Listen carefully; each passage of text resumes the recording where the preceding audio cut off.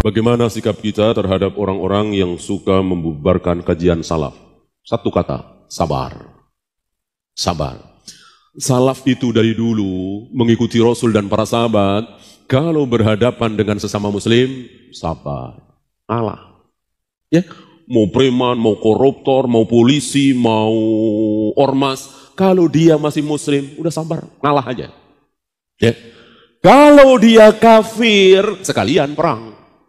Tanggunglah. Kalau cuma beban, ayo perang. Gitu. Kalau kan jelas. Asyidau alal kufar, rumah ruhama ubainahum.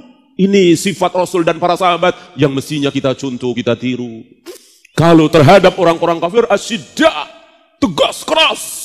Kalau perlu perang. Tapi kalau sesama muslim, udah ngalah saja. Ya, NU, Muhammadiyah, Persis, PKS, PKB, muslim bukan? Muslim kan?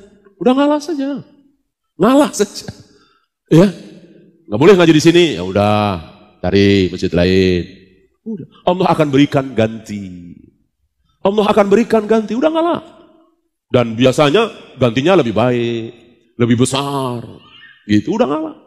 Gak usah ngotot-ngototan, apalagi berantem, perang, pasang badan. Jangan. Kecuali dia non-muslim. Gitu ya.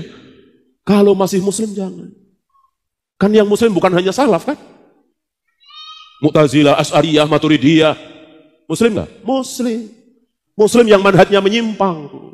Masih saudara kita. Kalau dia salam, kita jawab nggak? Jawab. Dia mati, kita solati nggak? Solati. Dia bersin mengucapkan Alhamdulillah, kita ucapkan Yarhamukallah nggak? Iya. Dia ngundang makan, kita datang? Datang. Adapun kafir, tidak. Tetangga kita kafir mati, kita nggak datang, dosa nggak? Nggak. Ya. Ada uh, tetangga kafir sakit nggak kita jenguk nggak masalah. Ya, itu bukan hak sesama muslim orang dia kafir. Gitu. Maka sabar. Ya, doakan saja sebagaimana Nabi mendoakan. Berikan hidayah kepada mereka ya Allah. Mereka belum tahu. Kami sedang mengajak mereka untuk kembali ke sunnah. Kami sengaja sedang mengajak mereka untuk masuk surga agar selamat dari neraka karena bid'ah terancam neraka. Kulu bid'atin dolalah wa kulu dolalatin finnar. Sabar. Ya. Dan dengan kesabaran ini ratusan, bahkan ribuan dari mereka yang ngaji salaf. Sabar.